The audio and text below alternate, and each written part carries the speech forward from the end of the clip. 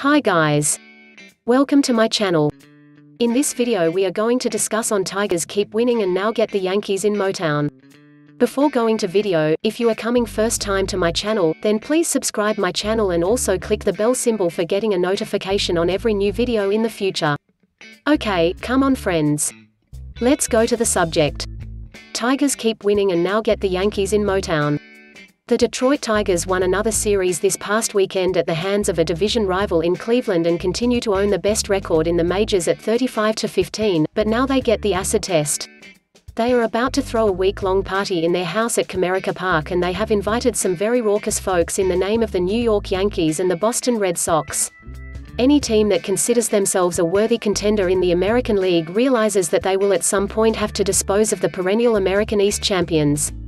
With all due respect to the defending World Series champion Chicago White Sox, the Yanks and Bo Sox are the enemy. After a consistent performance in the 2005 MLB season, the Atlanta Braves are poised to make a strong showing in 2006. The Braves finished the 2005 regular season with a .556 win average, placing them at the top of the National League East, which is where they have been for 14 years in a row. They are showing the signs after reeling off four straight road victories, including sweep at Wrigley Field. Yesterday they closed out their road trip by hitting eight home runs and Bobby Cox just keeps on ticking.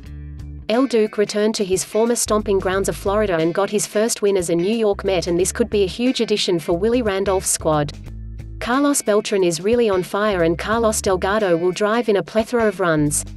Randy Johnson could get ambushed today and you have to bet the pumped up Tigers as the 42-year-old Johnson, 6-4, 5.89 ERA, has not had a quality start since limiting Baltimore to one run in eight innings of a victory April 23. In each of his last six outings, the Southpaw has allowed at least four runs and seen his ERA rise more than two runs. One of the reasons for Johnson's struggles have been first inning problems. Opponents are hitting .378, 17 for 45, with 4 homers and 15 RBIs in the first inning of his 11 starts this season. In 2005, Johnson limited hitters to a .210 average 26 for 124, with 3 homers and 16 RBIs in 34 first-inning outings. Johnson had a personal six-game winning streak against the Tigers end last season when he was outpitched by Jeremy Bonderman in a 10-2 loss July 1. Johnson, 8-7 lifetime versus Detroit, was reached for 7 runs in 5 innings. Bonderman, 5-3, 4.57, is trying to win for the third time in 4 starts and also end his struggles at home. The right-hander is 1-3 with a 7.48 ERA in 4 starts at Comerica Park, but he is coming off a win Wednesday at Kansas City, where he gave up 3 runs and 10 hits in 7 innings of a 6-3 win. Bonderman is 2-2 with a 4.84 ERA in 5 starts and 6 lifetime appearances against New York. New York won 5 of 6 games between the teams in 2005 and has won 22 of the last 29 since the middle of the 2001 season. You would have to do a whole lot of research to find the last time Randy Johnson pitched against the Tigers and was listed as an underdog, as is the case today with Detroit minus 123. Play the Tigers. Hi guys. Now we discuss little bit about practical aspect of sports betting. I know it is very difficult to predict sports betting even for experienced players and for making betting easy there is tons of sport betting signal provider in the market. Most of them are not cost worthy and identifying the right betting service provider is another big task.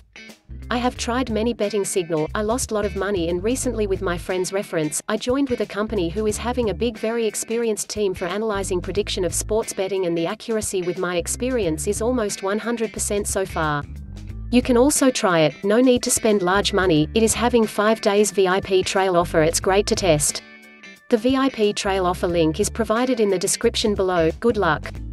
Hi friends, I hope you enjoyed the video, if you like the video then please thumbs up and share it to your friends.